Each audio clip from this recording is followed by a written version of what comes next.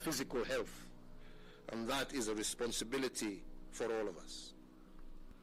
I want at this juncture to thank, through my co-chair, the chairman of the Council of Governors, all the governors of the Republic of Kenya for the efforts that they are making individually and collectively.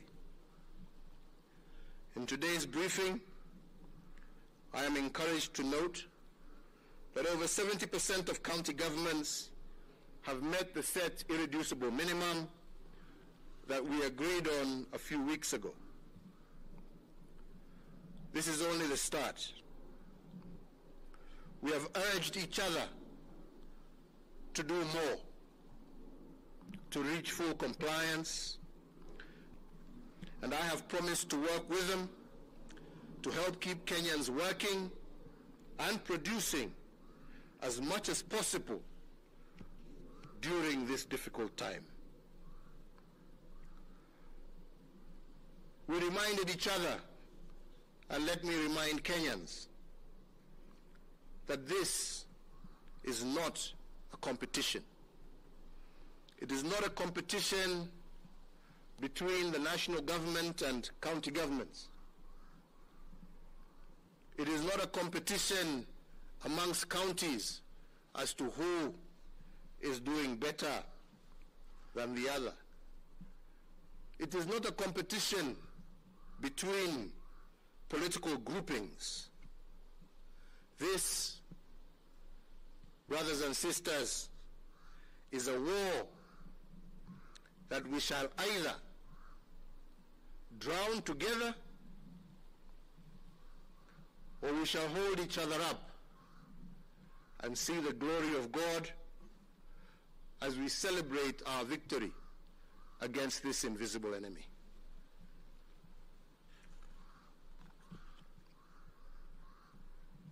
We honor the souls of all we have lost to coronavirus. But I want to especially say that we also honor those who have lost life as a result of caring and tending for others. And this is our health workers. And I take note especially of Dr. Doreen Adisa Lugliaki, who lost her life saving lives. And we say, may perpetual light shine upon her and grant her family, and particularly her twins, who have been robbed of the gift of a mother far too early. We also extend today our gratitude to our law enforcement officers for their valiant acts. We thank God for His grace, for His mercy, and we pray for Him to save the souls of those who have lost their lives to this pandemic. Sina ingine ya kuongeza isipokuwa kusema tena, jukumu iko mikononi yetu, kila mmoja wetu, kila mwananchi. Wengi walikuwa wanatarajia ya kwamba tutasema tutafunga nchi tena. Kufunga nchi haitasaidia, kwa sababu vile nimesema, serikali haiwezi kuwa kwa mlango wa kila mwananchi. Jukumu ni letu, kila mmoja wetu, kuhakikisha amelinda maisha yake na maisha ya wale ambao ni wapendwa wake. Tusione huu ugonjwa ukiwa ni kitu rahisi. Yastahili tu tuangalie yale ambaye yanatendeka nchi zingine, hata nchi ambazo zimeendelea mara ishirini mara mia zaidi yetu. Tuji tusijilinganishe na kusema oh, kwingine hakuna, kwingine hakuna. Kwa nini sisi tuko wengine hawana? Nikumbushe Wakenya, kuishi kwa demokrasia, nchi ambaye iko na demokrasia, nchi ambaye iko na uhuru wa wanahabari, sisi kama taifa hatuna nguvu ya kuficha chochote. Yale ambaye yanatendeka tunawaambia. Kuna wengine ambao labda hawana hiyo wana huo uwezo, lakini sisi kama taifa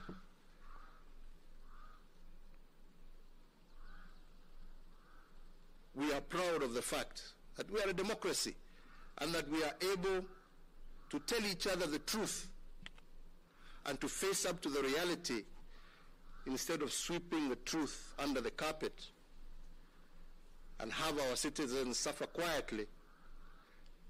I would rather we told each other the honest truth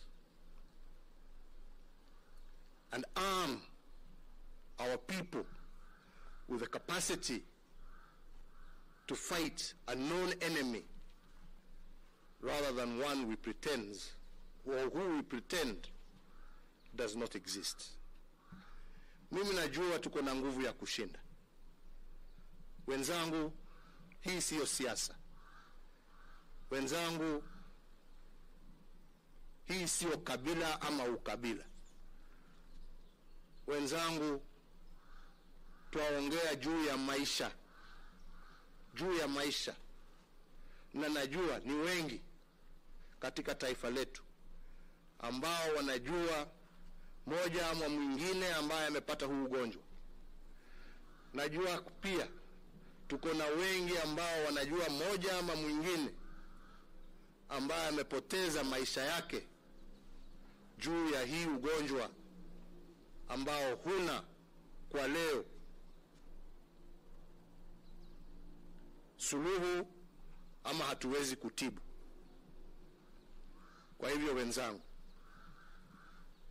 usi, usi, usipojipenda we mwenyewe, penda mamako, penda ndugu yako, penda dadako, penda mtoto wako, penda jirani wako, na useme ya kwamba kwa sababu ya mapenzi yako na huyo utafanya yale ambayo yanatakikana kukinga na kulinda maisha yake, na tuweze kuendelea na shughuli zetu tukijua ya kwamba twafanya leo mambo ambaye siyo ya kawaida.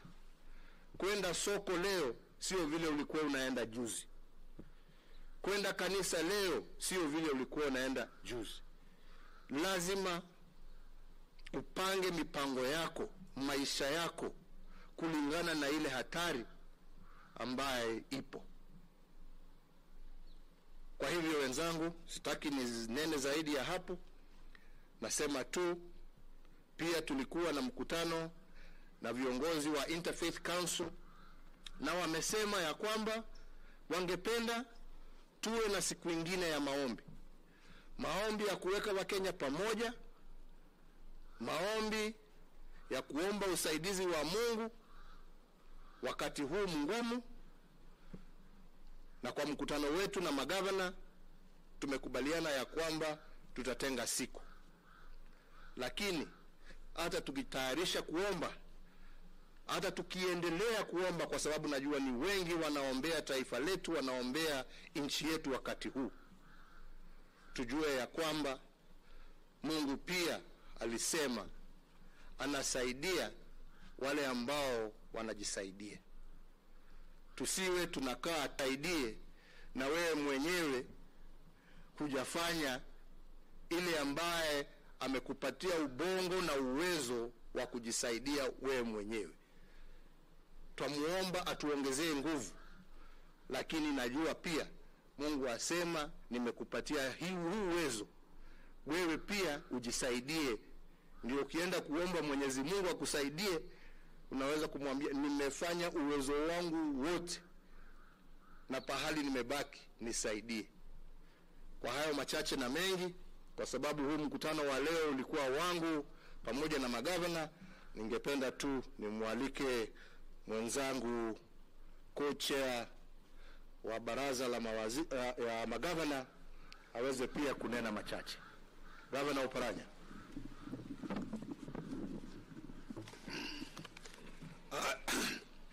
Your, Your Excellency, the President of the Republic of Kenya, uh, the cabinet secretaries who are here, and the members of the press, mimi nataka siku ya leo nimshukuru Rais kwa yale yote ambayo amenena siku ya leo.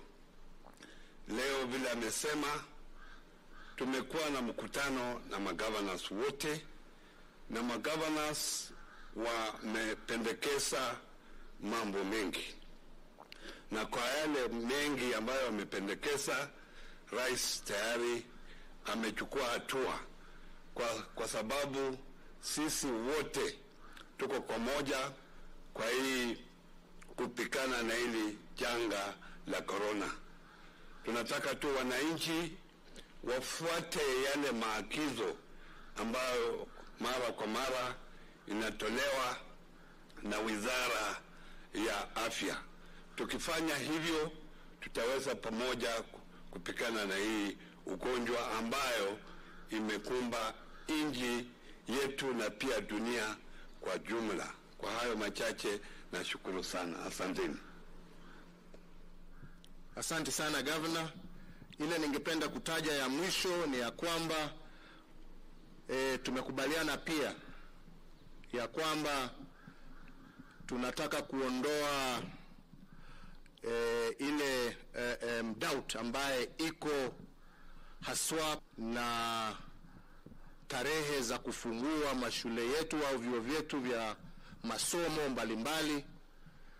Na tumekubaliana kwa mkutano wetu leo ya kwamba waziri wa elimu Profesa Magoha ataita mkutano wa washikadau wote wa elimu e, baada ya siku chache, na wakishamaliza mkutano wao na mashauriano yao wataitana waweze kupatia wazazi waweze kupatia wanafunzi na watoto wetu wote e, vile tutaendelea na, na, na mambo ya, ya, ya, ya elimu e, tukisonga mbele. Kwa hivyo mtarajie ya kwamba Profesa Magoha akishamaliza huo mkutano ambao tumesema hapa atawaita na ndio aweze kutoa taarifa ama mwongozo ambao tutafuata kuhusu shule zetu mbalimbali, university zetu na vile tutasonga mbele na mambo haya. Kwa hayo machache na mengi, nasema Mungu aendelee kuibariki taifa letu la Kenya. Mungu abariki Wakenya wote pahali popote walipo. Asanteni sana, na niwaombe tuendelee kukaa na imani na tuendelee kukaa na usalama na tuendelee kujikinga na hii janga la COVID-19. Asanteni sana.